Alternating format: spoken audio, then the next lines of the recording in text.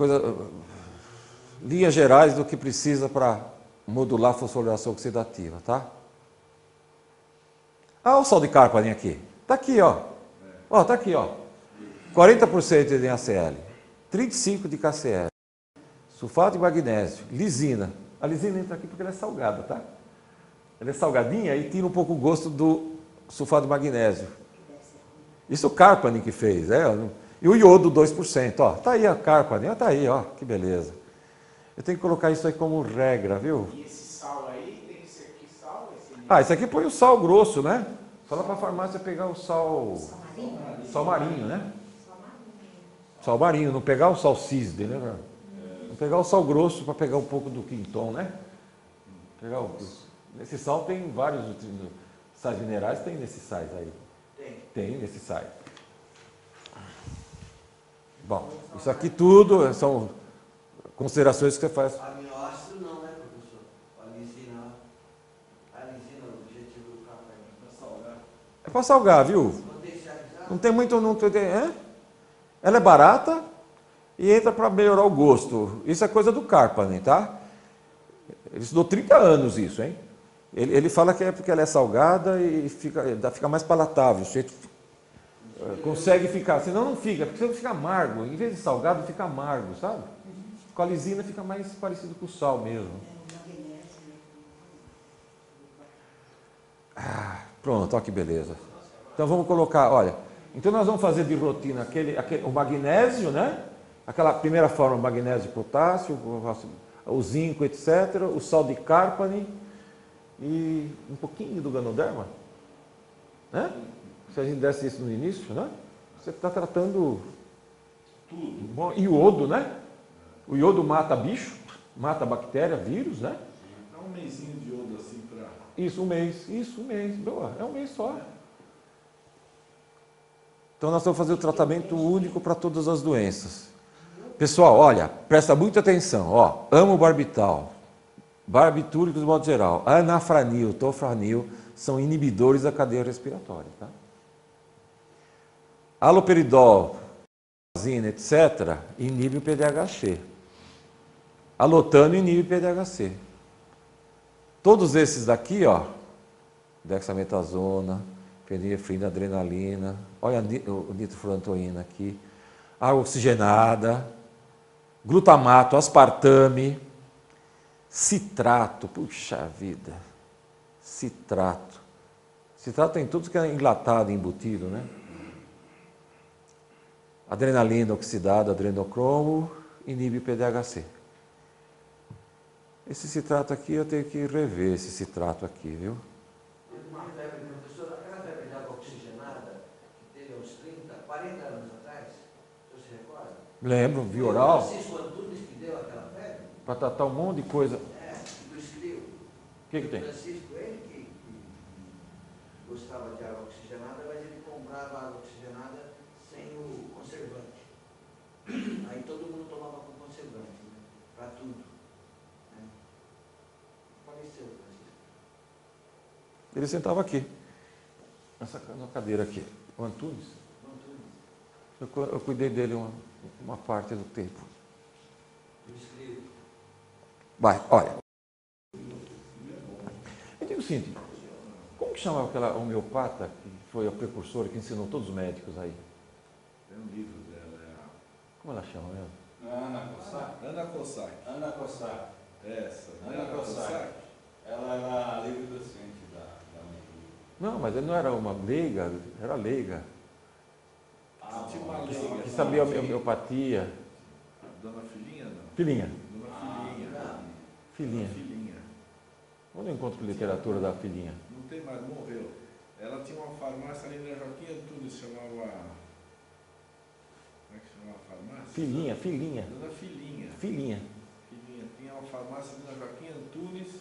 Ela tinha um genro que a- se achou que ia ser o filhinho e faliu a farmácia. Chamava farmácia. Os anjos, né? Não. Chamava farmácia. A dona filhinha. Mas tudo bem. Ela curava a gente, viu? Ela ensinou os médicos, né? Foi a primeira a fazer homeopatia, parece, em São Paulo. curadora. Bom. Não, tinha o Abrão Brickman que já fazia, né? Quem? a obra. Pessoal, olha que coisa triste, ó. Quimioterapia anticâncer, muitas delas inibem a fosforilação oxidativa, ó. E todas elas praticamente ativam o NF-κB. E o NF-κB é, é um proliferativo. É um agente inflamatório, proliferativo e bloqueia a apoptose. Porque ele está ele, ele tá no nosso corpo para proteger. Né? Então, se você faz inflamação, você faz NF-κB, então prolifera a célula, vem sistema imunológico para cicatrizar. Né? E a célula em proliferação usa o NF-κB para se proteger também. Aí diminui a apoptose e aumenta a proliferação.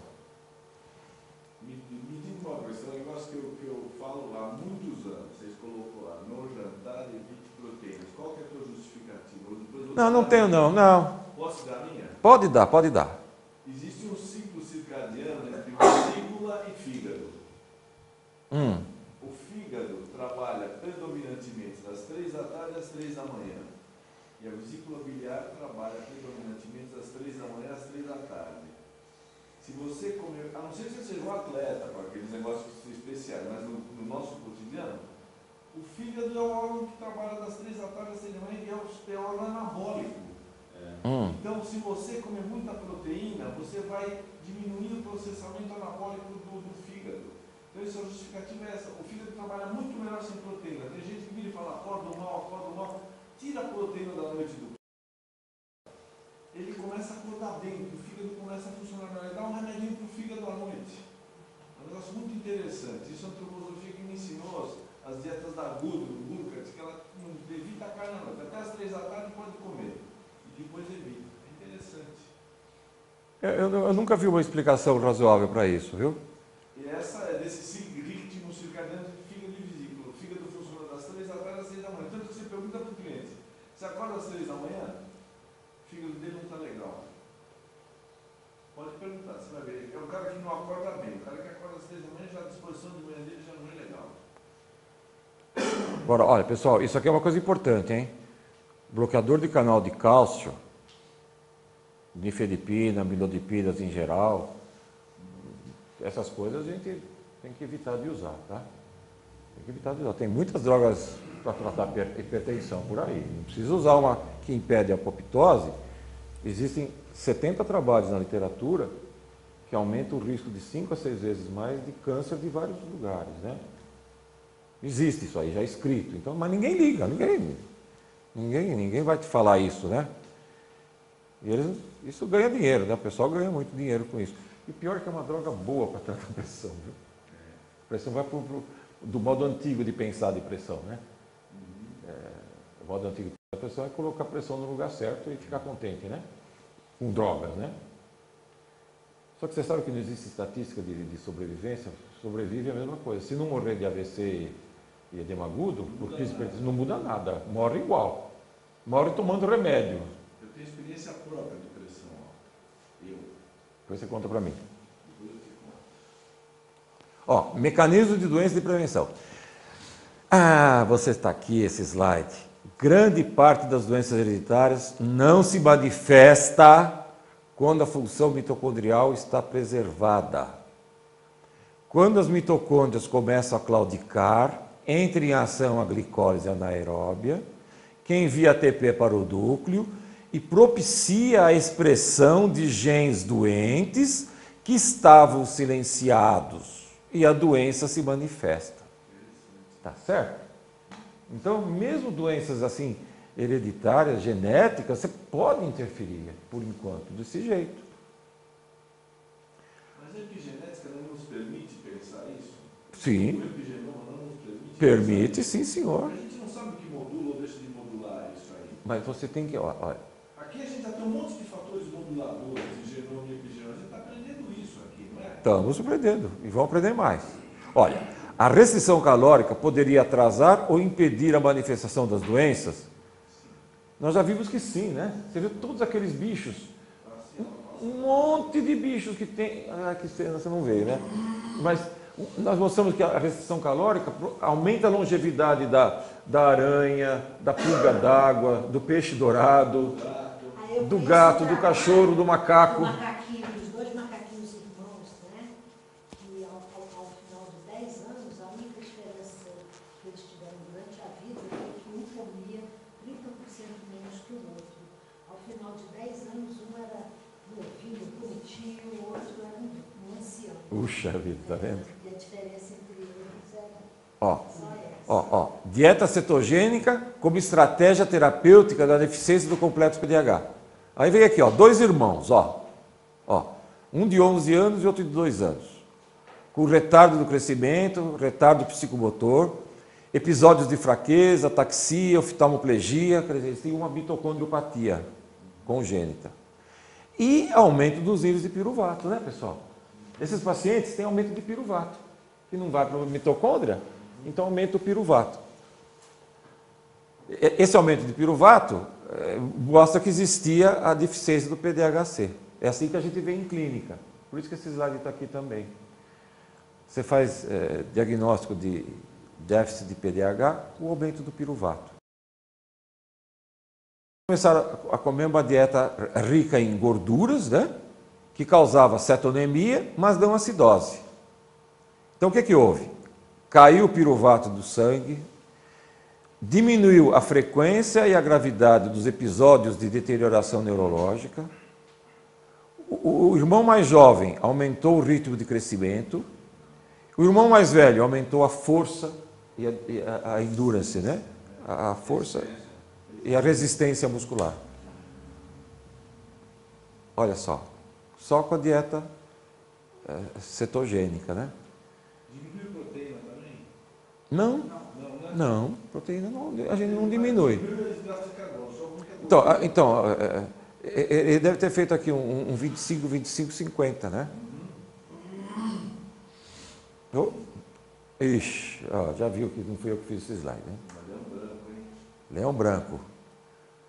Coco. Olha a cara de pato dele, ó. Um Alzheimer. Ele fazia assim o relógio. Vocês têm costume de fazer relógio, pessoal? Interessante isso aqui, viu? Paciente com diminuição de memória, manda ele fazer um relógio. Faz, faz um relógio. Então, ele faz um desenho de relógio. Então, ele, ele fez um relógio, era assim, ó. Aí ele começou a tomar óleo de coco, ficou assim, e depois ficou assim.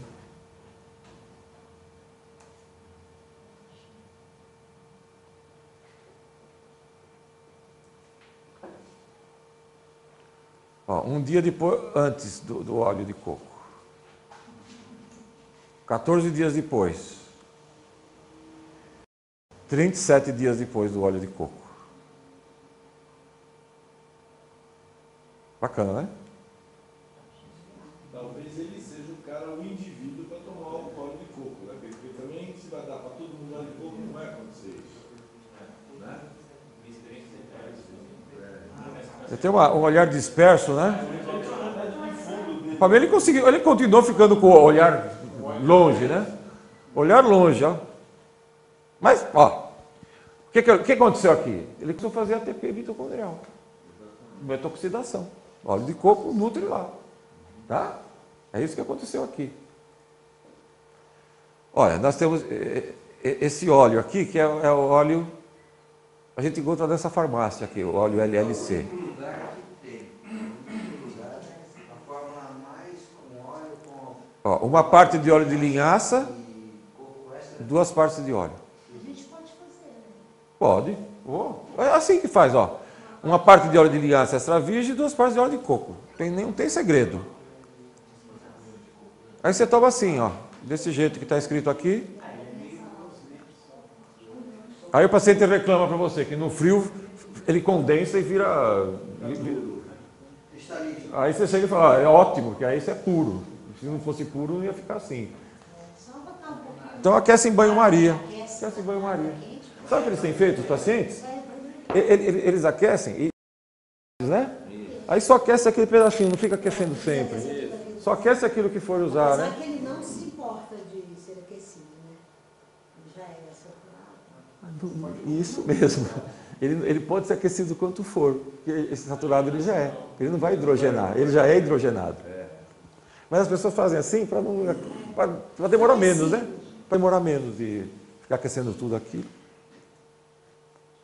Ah, então, olha só. Olha só.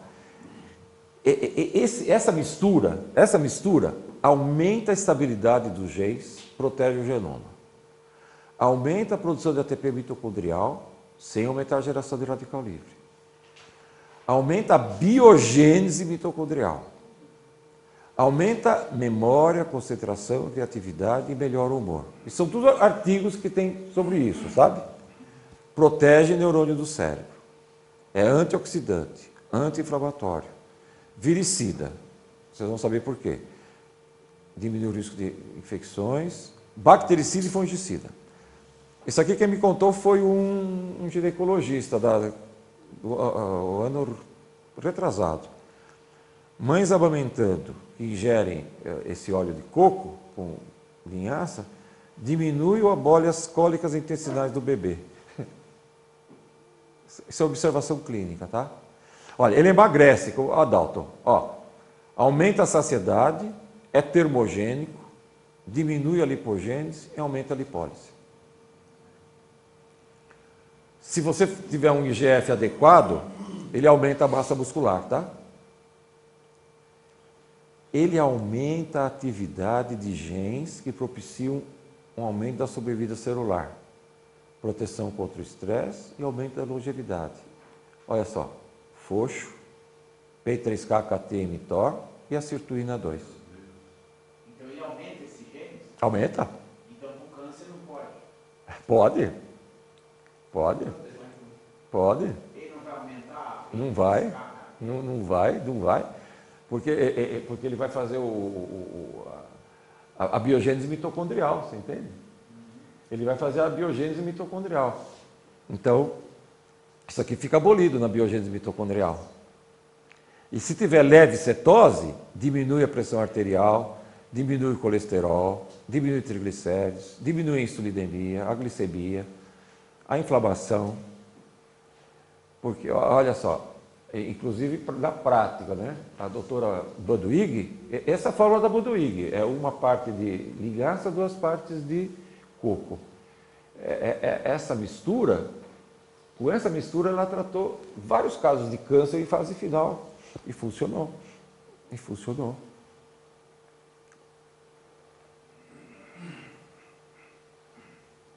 Essa leve cetose, por exemplo, pode ser uma restrição calórica mesmo. É, aí, aí tem que pôr um pouquinho mais de restrição calórica, leve cetose. Mas ninguém aguenta fazer, viu, leve cetose, ninguém aguenta. Fica um mês fazendo e depois para. Ó, aumenta a longevidade de não mamíferos e de mamíferos, que nós vimos na aula passada. Diminui parâmetros relacionados com o envelhecimento. Olha só, o ômega 7 que tem dentro dele aumenta a sibilação da vitamina C no cérebro. E o ômega 7 também aumenta a imunidade celular, TH1, por gerar interferon gama, interferon gama aqui, tá? O ômega 7 ativa o interferon gama. Interessante. Para diabético.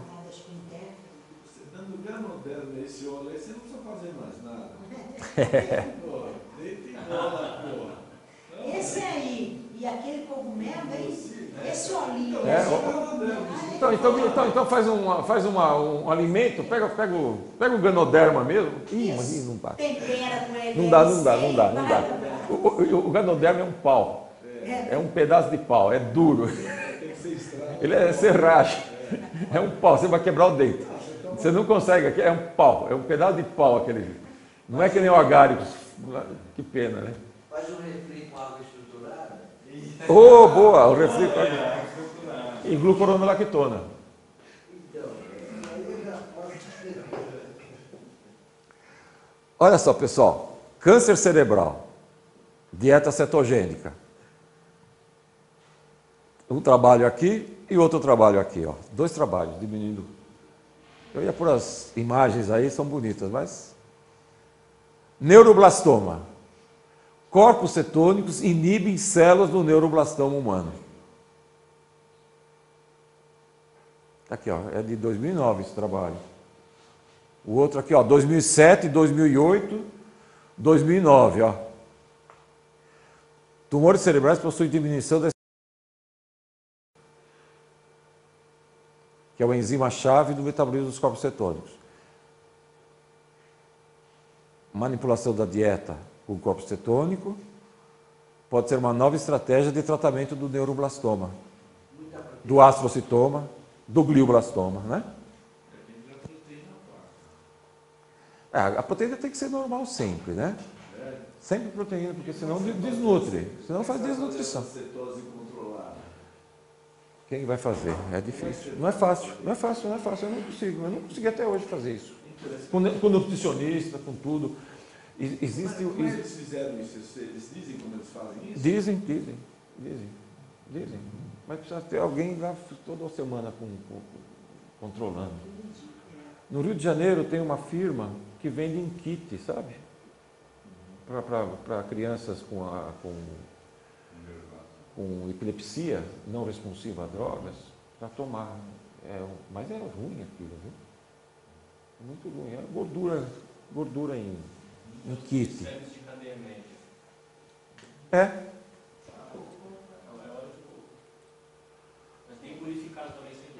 Ó, astrocitoma. Ó, astrocitoma em fase avançada. Efeito benéfico em dois casos, olha só. Dentro de sete dias do início da dieta cetogênica, a, a- a glicose caiu, os corpos cetônicos elevaram-se 20 a 30 vezes, e o PET scan mostrou diminuição de 21,8% da, da tomada de glicose. Olha que beleza. Olha, em sete dias, hein? É rápido. Um paciente exibindo significante, melhora clínica no humor e- e novo desenvolvimento cerebral durante o estudo.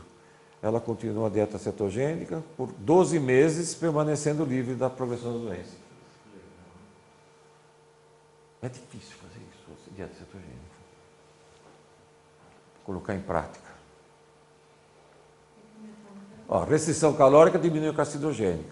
Ativa a MPK, aqui o nome da MPK, reduz a KT, reduz a mTOR. Né? Olha, diminui a proliferação angiogênese, aumenta a apoptose e diminui o IGF-1R, o receptor do IGF-1. Isso é muito bom. Olha essa hipótese poderoso. Poderoso é o sobrenome do espanhol, tá? Eu- eu- olha, almoço e jantar, dieta rica em carboidrato. Hiperinsulina, pe- hiperinsulinemia periódica todos os dias. A insulina aumenta a atividade das enzimas da glicose anaeróbica todos os dias. A insulina aumenta a atividade da eniocintase e estresse oxidativo por aumento exagerado do NO todos os dias.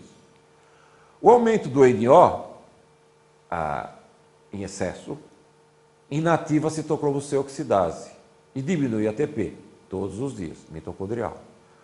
O estresse oxidativo provoca mutação, deleção do DNA mitocondrial com radical livre todos os dias.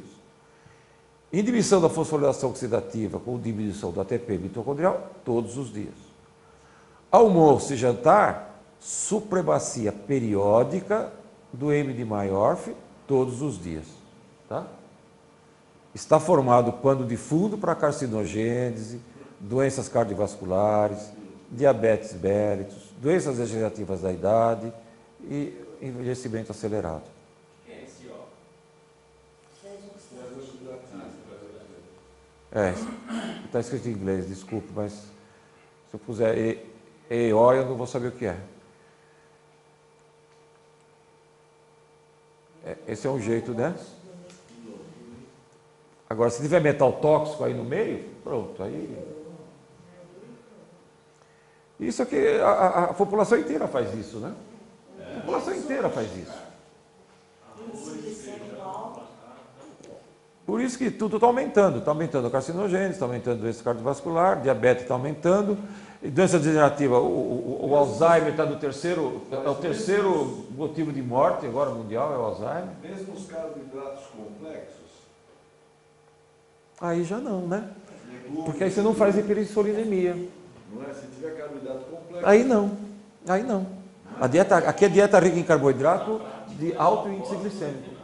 É, mas o arroz é, não é integral na não, estou falando se é carboidrato complexo. Melhora bem, legumes. Sim, sim. É, Se- se, comer junto. O livro do Permuter que saiu agora, o neurologista dos Estados Unidos, você viu o livro dele? Não. É, ele fala que mesmo os grãos integrais, todos os carboidratos, É carboidrato. pós-era paleolítica, são todos lesivos para o sistema nervoso central. Você viu o livro agora nos Estados Unidos? Continua sendo o quê? Você falou? Continua sendo? São ruins para o cérebro. Ah. Mesmo os carboidratos de baixo índice glicêmico, grãos, tudo isso, ele aboliu tudo. Já está mais paleolítica mesmo, mais proteína. Ó, ó, ó, mais ó, vegetais olha, ó, olha, olha. O duro é o seguinte daí desses carboidratos, é que é, teve tanta mutação, o trigo, o trigo de dois mil anos atrás não é o trigo de agora. Então, antes existia uma ou duas gliadinas, agora existem umas 120 gliadinas diferentes que você não conhece. Então faz mal para você mesmo sendo integral, é duro, né?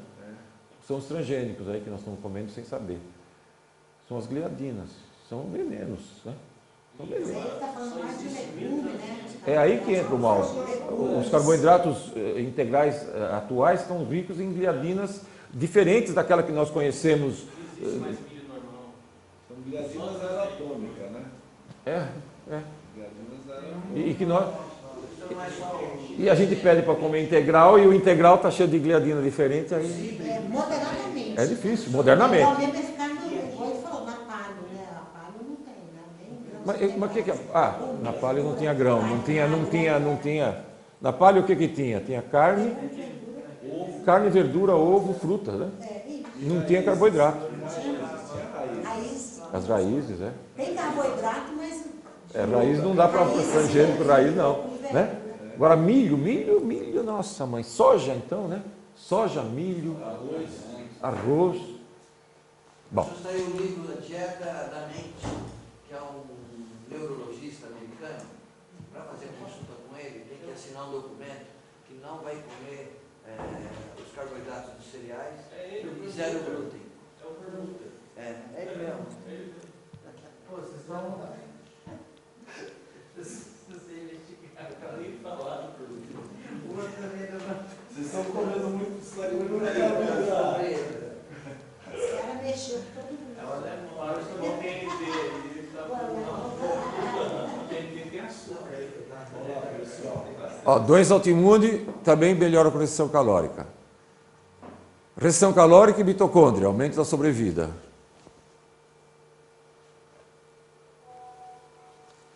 Ah, a restrição calórica aumenta a sobrevida mas em lá.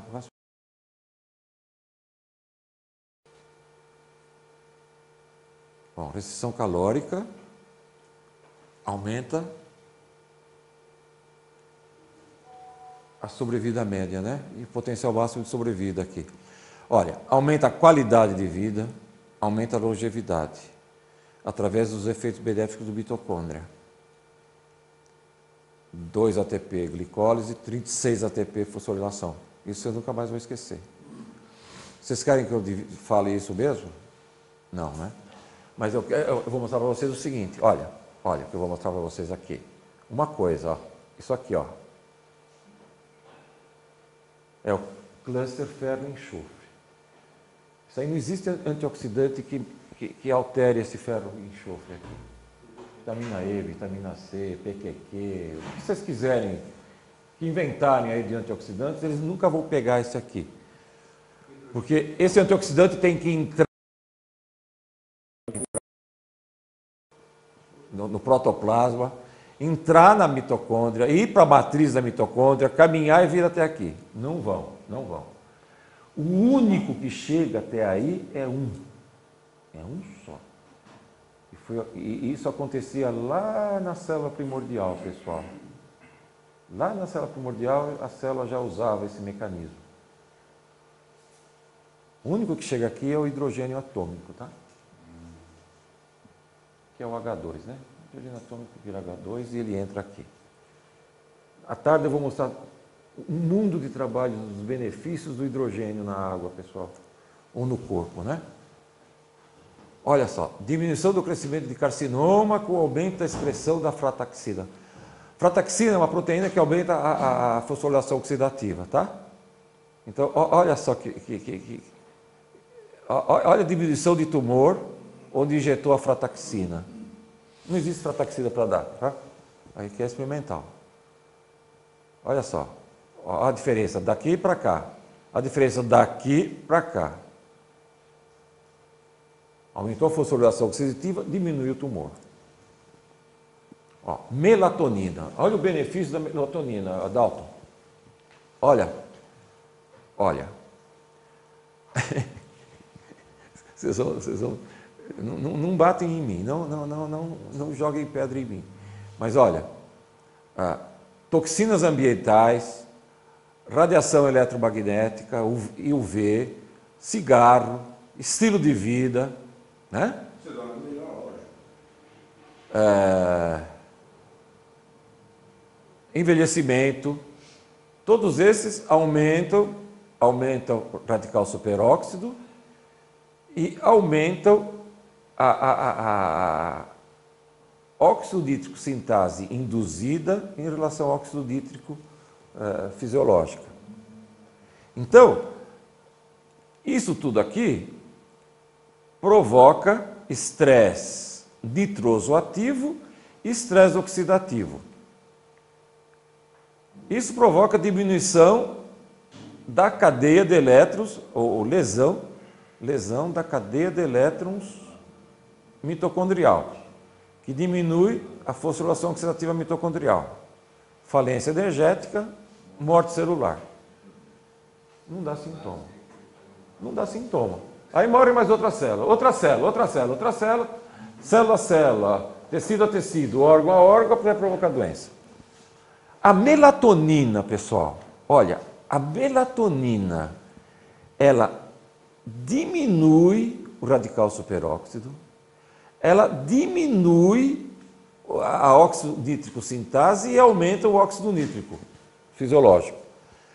Ela previne o estresse oxidativo e nitrosoativo, ela melhora a cadeia mitocondrial de elétrons, melhora a oxidação fosforilativa, sobrevivência celular.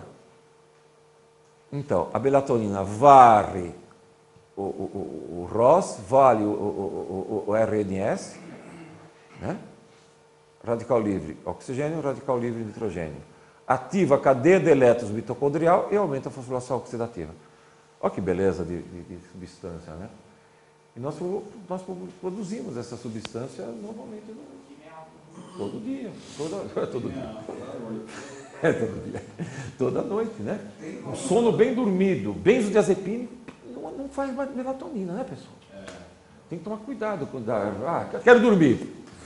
Lorax. da praça. Toma cuidado, toma cuidado, porque a gente precisa dormir gostoso, dormir bem.